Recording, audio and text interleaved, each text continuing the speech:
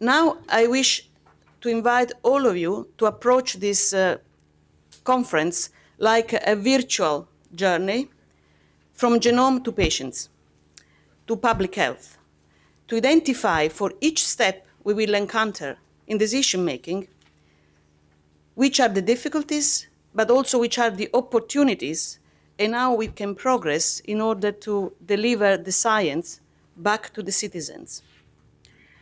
And we have to remember, as regulators, as actors in this scenario of public health, that the patients give their samples, the patients give their genome, the patients give their rich phenotype, be healthy phenotype or disease phenotype. Now, how the stakeholders look at this richness, which come from us, from all citizens, and how this richness is nurtured to give the return on genes back to the people. We will start from the regulatory path. The, most of the day today is from the regulatory path.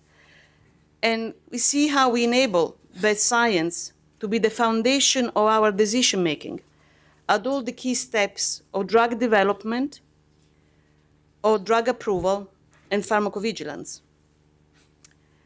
But then we will explore also how other stakeholders take up the responsibility to value the use of genomic science and how they adapt to new transformative models in drug development and in healthcare. At this very time, when the growing understanding of genomics and molecular pathways requires more and more a clinically integrated, patient-centered systems.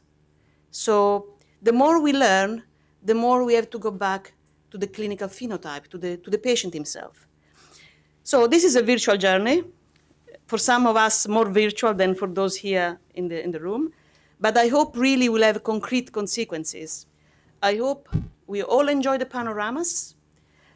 Actually exciting, if you look at the program, really exciting panoramas.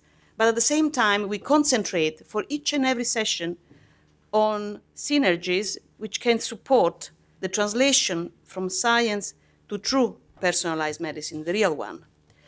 So these are my reflections in the introduction of this workshop. And I thank you again for listening, and I wish you a fantastic day of collaboration. Thank you.